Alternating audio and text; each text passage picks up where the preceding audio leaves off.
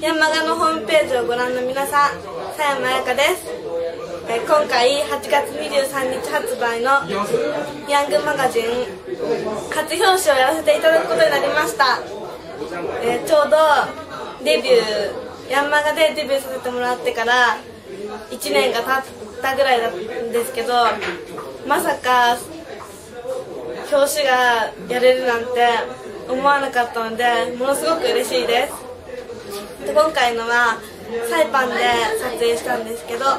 きっといい仕上がりになってると思うのでぜひ見てください。よろしくお願いします。